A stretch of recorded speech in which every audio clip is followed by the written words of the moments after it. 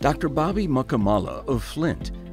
In the early stages of the COVID 19 pandemic, Dr. Bobby Mukkamala, a head and neck surgeon, jumped into action and found several ways to support the Flint community. He began teaching others how to administer COVID tests and how to do so in a less painful, more comfortable way. He also volunteered at testing facilities all over his community. Dr. Bobby also felt inspired to make masks with his son. He had a dozen 3D printers that he had purchased to donate to Flint schools, but they weren't yet ready, so together he and his son started printing N95 equivalent masks when they were in short supply. Dr. Delicia Pruitt of Bay City in the early stages of COVID 19, Dr. Pruitt began working as the medical director of Saginaw County. She gathered resources and organized mass vaccination clinics at four churches located in underserved areas with the help of multiple health systems. In just two days, over 2,500 vaccines were administered at these clinics. Dr. Pruitt, along with her colleague, Health Officer Chris Harrington, live streamed video of them receiving their first doses of the COVID 19 vaccine. The pair aired 65 episodes on Facebook Live with various medical guests to inform the public of the importance of COVID 19 information. Dr. Pruitt hoped this would increase vaccine confidence, especially among people of color. Hugh Mailer of Birmingham Hugh Mailer's impact at Forgotten Harvest, one of the nation's largest food rescue organizations, has made him a staple in food security efforts in southeast Michigan. Hugh has assisted with data entry food agency visitations and helped within the warehouse and food rescues. In July 2019, Hugh joined another volunteer, Bobby Parrish, to create the Harvest Hero program Trained volunteer teams picked up donated food to help support people facing hunger. Together, Harvest Heroes rescued and delivered 480,000 pounds of food, or about 400,000 nutritious meals. Hugh's leadership during the pandemic was essential. Jenna Arcidiacono of Rockford Chef Jenna used her local celebrity chef status to help others during the pandemic. When COVID began, Chef Jenna created food hugs to help as many people in need as possible.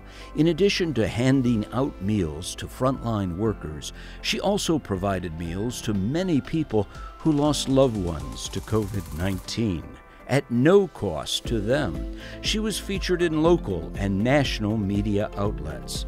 During the pandemic, Jenna helped struggling restaurant employees with a program called Tip Back Thursday, where $1,000 in donations were given to restaurants. 47 restaurants were supported with this program. Lisa Janke of Marquette Early on in the pandemic, Lisa joined the Masks for Marquette volunteer initiative to help make masks and distribute protective gear for medical personnel, frontline workers, and school children. Masks for Marquette provided over 45,000 pieces of protective equipment.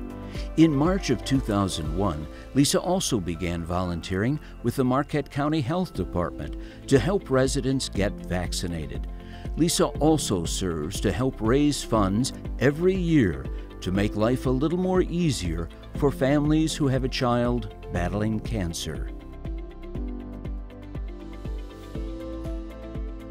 Pat Munshaw of East Lansing Pat Munshaw is an 83 year old retired registered nurse who stepped out of retirement to help administer COVID 19 vaccinations. She volunteered two times a week through both the Ingham County Health Department and Sparrow Hospital and administered nearly 1,000 COVID 19 vaccinations. Pat has volunteered for many charitable organizations, including the Rotary Club of Lansing Foundation, Boar's Head and Williamston Theaters, Greater Lansing Arts Council, the Capital Region Community Foundation, the Capital Area United Way, the Capital Area Transportation Authority. She's an election poll worker, along with being on the board of the Burcham Hills Retirement Center. Dr. Phil Knight of Fenton. During the pandemic, Dr. Knight's tireless efforts to pursue partnerships, funding, and food to meet food insecurity needs helped enable the Food Bank Council of Michigan to provide 47% more food than at any other time in their history. In addition to serving as the director of the Food Bank Council, Phil also serves as the chair of the Governor's Food Security Council. Outside of working with food security, Phil also volunteers with the University of Michigan Kidney Cancer Research Team. His wife, Christy, is a kidney cancer survivor, and the pair tell their story at events and fundraisers to assist in raising funds and awareness. Priscilla Bordeo of Lansing. During the COVID 19 pandemic, domestic violence and sexual abuse cases increased. Priscilla Bordeo felt determined to help those who suffered from sexual assault and domestic violence get the resources they needed. In addition to being alongside the survivors while getting their rape kits processed and going to the hospital at all hours of the night, sometimes for 10 hour shifts or more, Priscilla also took on a new role working for crime survivors for safety and justice. She has advocated in the courts for over 500 women who have been sexually assaulted for five years and did this work voluntarily without pay. Priscilla also runs a nonprofit called Remarkable, where she mentors women ages 18 to 35 years old and helps them recognize their purpose in life and reach their full potential. Rebecca Islam from Sterling Heights. Rebecca Islam is an advocate for Asian American Pacific Islander rights and resources. Rebecca is the executive director and serves on the board of American Citizens for Justice as a volunteer director of the League of Women Voters of Michigan and a member of the Voter Empowerment Project. She began fundraising to help those who were rebuilding their lives from the ground up much like herself and her family had to do when they moved to the U.S. from Bangladesh. She started phone banking with the Roundtable for Diversity and Inclusion in partnership with Asian and Pacific Island American Vote Michigan. Additionally, she spends time volunteering to assist with translation and interpretation services when voting and partnered to provide COVID 19 vaccinations. Vivian Murray of Detroit.